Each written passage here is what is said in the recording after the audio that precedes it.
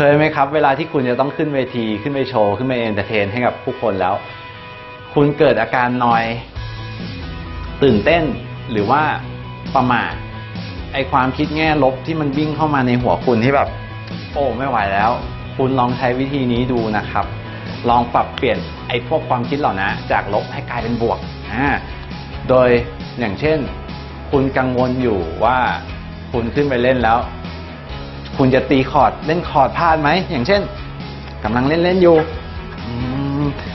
จะพลาดแล้วจะพลาดแล้วอืมขึ้นมาอย่างนี้เลย เปลี่ยนวิกฤตให้เป็นโอกาสไปเลยครับ ลองใช้ความคิดในแง่บวกเข้ามาแก้ดูว่าเฮ้ยถ้ามันมีอย่างนี้เหตุการณ์ลบอย่างนี้ขึ้นมา คุณจะแก้ด้วย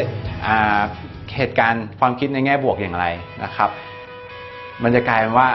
โชว์ของคุณเนี่ยประสบผลสำเร็จแล้วก็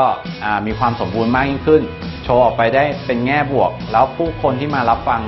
รับชมคุณเนี่ยก็ได้ซึมซับพลังในแง่บวกนั้นเข้าไปด้วยนะครับ ยิ่งถ้าคุณฝึกเรื่อยๆนะครับให้พลังในแง่บวกเข้ามา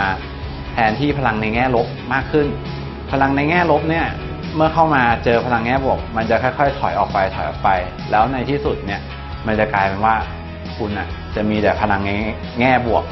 มีแต่คนที่มีความคิดดีๆ คุณจะกลายเป็นคนที่มีความสุขที่สุดครับ นั่นคือสิ่งที่ดนตรีให้กับคุณ แล้วเจอกันที่ครูฟิล์ม Music Expert ครับผม